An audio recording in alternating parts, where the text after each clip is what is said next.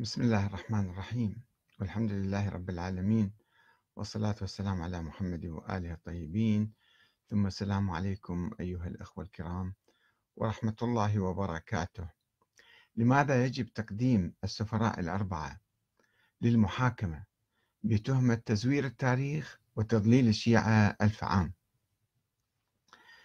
آه الأخ علي الخماس يسأل عن السفراء الأربعة. وهم عثمان بن سعيد العمري وابنه محمد بن عثمان والنوبختي والصيمري الذين دعوا النيابة العامة عن الإمام المهدي وقالوا أنه موجود طبعا وهم وكلاؤه فيما يسمى فترة النيابة الغيبة الصغرى. الغيبة الصغرى امتدت سبعين عاما اللي ذولا ادعوا فيها من وفاة الإمام العسكري سنة 260 للهجرة إلى 329 فالأخ علي الخماس يسأل يقول السلام عليكم أستاذ أحمد الكاتب. أريد توضيحا أريد أن توضح لنا برأيك الخاص وبحثك العميق عن قضية السفراء الأربعة وما تقول عنهم. هل يستحقون هؤلاء آه، أن نقدمهم لمحكمة قضائية تحكم بأن هؤلاء كانوا صادقين بما قالوا أو افتروا في فترة محددة. في ذلك الوقت والشيعة أقنعوا أنفسهم بأن هناك رجل آه، ولد واسمه محمد ابن الحسن العسكري وهو منقذ البشرية والإمام المهدي. وعشنا تحت ظل هذه الأكذوبة واقتنعنا بها بناء على مصادر ضعيفة السند وليست واضحة بتفسيرها. فأرجو أن توضح لنا الآن لأن أكثر الناس في عمري وأصغر مني لا يعرفون شيئا عن السفراء الأربعة وما كانوا وكيف عاشوا وأين انتهى أمرهم ولماذا قضيتهم غامضة والسلام. علي الخماس. في الحقيقة الأخ علي هو أيضا يعني آه، يجيب عن بعض الأسئلة أو ينطوي سؤاله على آه، معلومات أساسية. أن المسائل الدينية يجب أن تكون واضحة كوضوح الشمس. ونحن في الإسلام نستقي عقائدنا أولا من القرآن الكريم. العقائد فقط من القرآن الكريم. والعقائد معروفة هي ما يتعلق بتوحيد الله ونبوة الأنبياء والمعاد في يوم القيامة. هذه أساس العقائد الإسلامية. وهناك فروع للصلاة كالصلاة والصوم والحج والزكاة وكذا وكذا. هذه مسائل فرعية. لا يوجد حتى في السنة النبوية عقائد جديدة أو إضافية على ما يوجد في القرآن الكريم. إنما السنة النبوية مثلا تشرح بعض الأمور. الصلاة مثلا كيف النبي صلى وقال صلوا كما رأيتموني أصلي أو حجوا كما رأيتموني أحج. فالسنة تشرح حتى الفروع تشرحها. ما ما تأسس في الدين جديد. النبي محمد ما جاب دين جديد من نفسه. إنما بلغ ما نزل عليه من الله تعالى اللي موجود في القرآن الكريم. الآن يجون بعض الناس يختلقون أساطير أو نظريات أو فرضيات أو مقولات مثلا كلامية وفلسفية ويدخلوها بالدين ويقول لازم يقولون لازم تؤمنون بهذه كأنه أركان الدين. تصل عند بعض الأخوة كما رأينا عند بعض المعلقين. أنه هذه من أركان الدين مثلا. شنو هي أركان الدين؟ ما يستطيع يميز بين الأساطير والخرافات والشبهات وبين أركان الدين.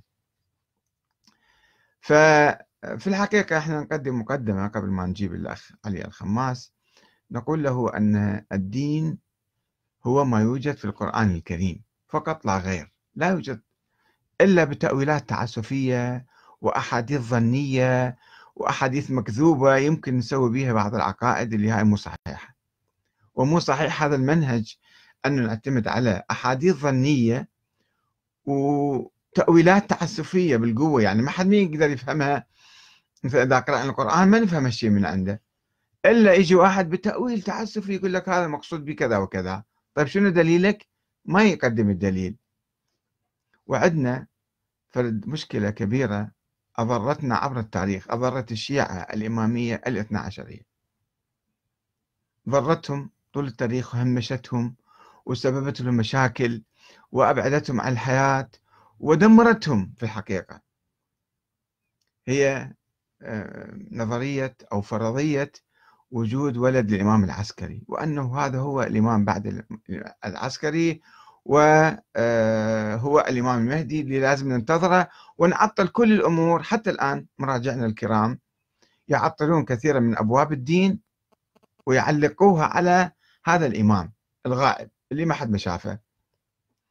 طيب ما إحنا يعني الإمام العسكري أيضا عندنا قانون بالشريعة وقانون هذا موجود معترف به في كل العالم أنه ما يجوز ننسب ولد إلى إنسان هو ما يعترف به.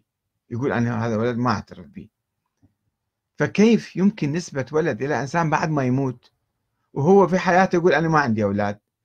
بعد ما يموت يجون جماعة أو واحد مثلا ينسب إنسان معين ولد إنسان معين لهذا الإنسان الميت هذا ما يجوز بالقانون ولا بالشريعة الإسلامية. وأيضا المصيبة العظمى أنه هذا ولد ما له أثر وما حد ما شايفه وما حد ما يعرفه. يجي واحد بالسر. هو كان مثلا وكيل مالي للإمام العسكري وقال أنا شفته عنده ولد وهو أعطاني وكالة إلي وأنا صرت وكيلة الآن. طيب وين؟ إحنا ما شفنا الولد حد يعطيك وكالة. شلون صرت أنت وكيلة أو نائبة وسفيرة مثلا؟ فهذه قصة السفراء الأربعة. وخلينا نشوف هم كانوا أربعة فقط لو أكثر من ذلك. أجبت الأخ علي الخماس قلت له الأخ العزيز علي الخماس ما يسمى بالنواب الأربعة الذين يؤمن بهم الشيعة الاثنى عشرية. هم ادعوا النيابة واحدا بعد واحد. وما كانوا كلهم في وقت واحد حتى مثلا آه، شهادة أربع أشخاص. لا واحد ادعى اللي هو عثمان بن سعيد العمري وبعدين بعد ما توفى طه الابنة وابنه ظل خمسين سنة هو يدعي هذا المنصب وياخذ فلوس من الشيعة ويقول أنا نائب الإمام. بعد ما مات ورا خمسين سنة أعطاها إلى واحد اسمه النوبختي والنوبختي أعطاها إلى واحد اسمه آه، الصيمري. فواحد عن واحد رواية آحاد. ما يمكن نبني وسرية ومخالفة للشريعة ومخالفة للقانون. ما يمكن نأخذ بهكذا روايات إلا أن نطمئن ويكون عندنا يقين وعندنا أدلة قوية حتى يمكن نرفع يدنا عن الظاهر ومثلا نعترف أو نعتقد بوجود ولد للحسن العسكري. فإذا هي رواية آحاد واحد عن واحد والواحد الأول كان كذاب ودجال. ولم يعاصروا جميعا ذول النواب. آه الإمام العسكري ولا شاهدوه ولا شاهدوا ولد له إنما هي رواية آحاد عن مدعي النيابة الأول عثمان بن سعيد العمري الذي كان وكيلا ماليا للعسكري في بغداد. يجيبون فلوس الشيعة إلى بغداد هو يوديها للإمام العسكري. لا كان عالم ولا كان فقيه ولا كان شيء من القبيل. ثم هذا اخترع أسطورة وجود ولد للإمام العسكري لكي يستمر في قبض الأموال من الشيعة ويقول أنا أوديها إلى ابن الإمام العسكري. وقد أيده ونافسه آخرون في زمانه. من الذين أيدوه؟ الأول الهلالي أحمد بن هلال العبرتائي اللي يسمى أيضا الهلالي. هذا قال إيه صحيح؟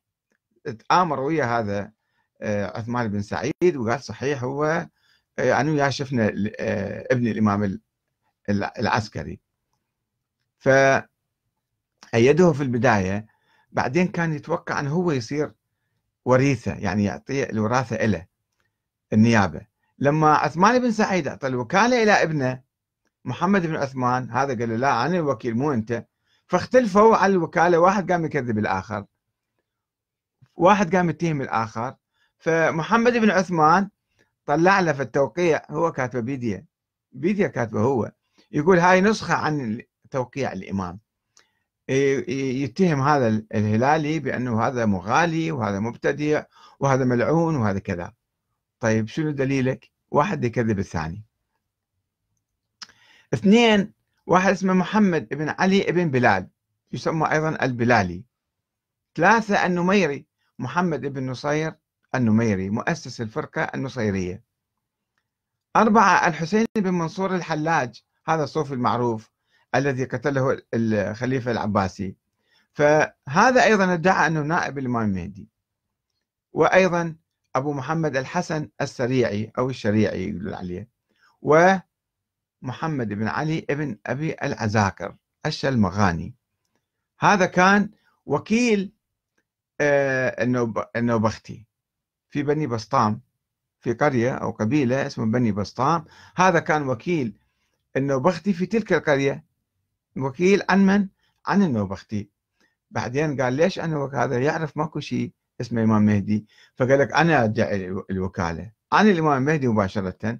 فاختلف ويا النوبختي واشتكوا عليه وحاكموه وعدموه. وكان عندهم علاقة النوبختي كان عنده علاقة مع الخلفاء العباسيين. فقاموا أعدموا هذا الشخص وهو كان عالم كبير. بالشيعة عنده كتب مؤلفات. هسه نقرأ عنه. كان من أعلام الشيعة وألف كتبا في التشيع ولكنه ادعى النيابة في زمان الحسين بن روح النوبختي النائب الثالث يعني في بداية القرن الرابع ورا خمسين سنة أكثر يعني. ونافسه على النيابة فأخرج النوبختي توقيعا باسم الإمام المهدي بضلاله وانحرافه. قال الإمام المهدي يقول هذا ظالم منحرف طيب شنو ضلاله؟ شنو انحرافه؟ هو نوبختي ما يعرف.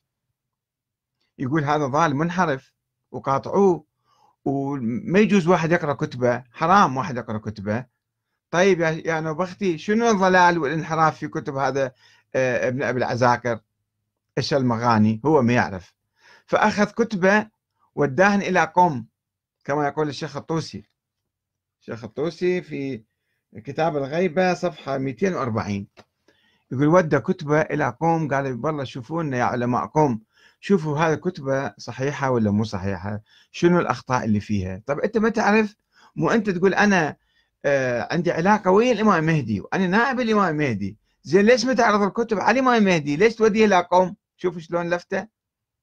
مما يثبت أنه هذا إنسان كذاب كان دجال كان.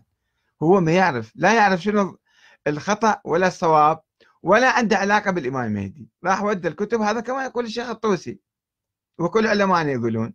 أنه هذا ودى الكتب إلى قوم حتى يحققوا ويشوفوا شنو الخطا وشنو الصواب ذاك ما جاوبوا ما عندنا جواب من عندهم. ما ندري شنو كان جوابهم وين صاروا. هذا ادعى أيضا النيابه العامه اللي هو شلمغاني يسموه. وهذا ما كان يعني آه، كما قلنا آه، رجل عادي كان من علماء الكبار. اللي قالوا له للنبختي قالوا له هذا شنو؟ ما نصنع بيوتنا مليئة من كتبه. هذا عالم منتشر كان كبير أعلم من النوبختي. النوبختي كان يدعي الوكالة. هذا كان عالم كبير. قال ليش أنا أخذ شرعيتي من آه، النوبختي؟ قال أنا أدعي النيابة. فهو جاوبهم هذا آه، النوبختي. قال أقول لكم كما قال الإمام العسكري في بني فضال. بني فضال علماء بالكوفة علماء شيعة كانوا وكانوا يؤمنون بالإمام العسكري إمامية كانوا حتى ولكنهم كانوا فطحية. فطحية يعني ما ما عندهم إشكال أنه الإمام إذا مات وما عنده أولاد يروحون لأخيه. مثل ما راحوا إلى موسى بن جعفر بعد عبد الله الأفطح سموهم فطحية لهذه المناسبة. طيب كان ناس مؤمنين يعني مشهورين بالعدالة والكذا. فقال الكلام اللي عنهم خذوا ما رووا ودعوا ما رأوا. الروايات الواردة عنا أخذوها من عندهم والآراء مالتهم لا تأخذوها. ليش؟ إذا آراء معقولة نأخذ رأيكم ما يخالف رأي ذاك ما يصير. على أي حال هذا النبختي جاوب كذلك. وذولا ما كانوا يشترطون الوراثة العمودية دائما. آه، فإذا هذا النوبختي اللي هو يقال أنه النائب الثالث كان يدعي النيابة وهذا الكتاب الكافي ألف في زمانه. الكليني ألف كتاب الكافي في زمان هذا النوبختي. ومع ذلك هو هذا الكتاب مملوء بالأحاديث الضعيفة والتي تتحدث عن تحريف القرآن. 9500 حديث ضعيف كما يقول المجلسي. فمن 16000 حديث و 2000 حديث فقط الآن علماء يصححون. من كتاب الكافي. زين هذا إنه بختي ليش ما أخذ الكتاب وعرضه على الإمام المهدي إذا كان موجود حتى يقول لنا شنو الصحيح وشنو الخطأ؟ ليش ما جاب لنا كتاب من الإمام المهدي بالفقه؟ هو يكتب لنا إياه وتجيب لنا إياه. ما جابوا هكذا كتب. ما كان عندهم اتصال. من هنا نفتهم ان هذول كانوا كذابين دجالين.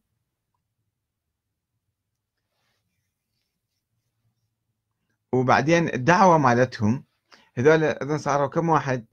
مو هذول أربعة واحد عن واحد. بس في الأيام الأولى بعد وفاة الإمام العسكري كما تحدثنا قبل قليل مجموعة ادعوا النيابة عن الولد ووجود الولد وذول نوابه وواحد صار يكذب الآخر فافترقوا الشيعة إلى فرق اثنا عشرية ونصيرية وكذا وكذا صاروا يعني فرق متعددة. كل مجموعة يؤمنون ب فد واحد من ذول الكبارية. وإذا كان هؤلاء النواب الأربعة يدعون أنهم صادقون وأن بقية المدعين مثل الهلالي والبلالي والنميري والحلاج والشلمغاني وغيرهم كاذبون فما هو مقياس الصدق والكذب؟ شلون نعرف أنه هذا هذا صادق وذلاك كاذبين مثلا؟ وكلهم يدعون أمرا سريا لا دليل تاريخيا عليه ومو في شيء بالظاهر. بل مخالف لقوانين الشريعة الإسلامية التي تحرم نسبة ولد إلى إنسان. ينكر بنوته هو يقول أنا ما عندي أولاد. في حياته فكيف بنسبة ذلك الولد إليه بعد وفاته؟ ودون ظهور أي أثر لذلك الولد الشبح المزعوم. يقول الشيخ الطوسي في كتاب الغيبة بأن هؤلاء النواب الأربعة كانوا يعلمون الغيب ويأتون بالمعاجز وهو قول عظيم وإفك كبير. لم يدعي رسول الله ولا أئمة أهل البيت مثله لا كانوا يدعون علم الغيب إلا ما يعلمه الله للنبي فقط ولا يدعون المعاجز وكيف يمكن إثبات دعوة النواب بعلم الغيب؟ أو أنه عندهم معاجز. افترض هم سووا معاجز وعندهم علم الغيب. شلون نتأكد أن هم سووا هالأشياء؟ ماكو أي دليل عليهم. وقد ادعاها بقية النواب الكاذبين. فلماذا نكذب هؤلاء؟ ونصدق هؤلاء. شوفوا هنا أيضا الإمام.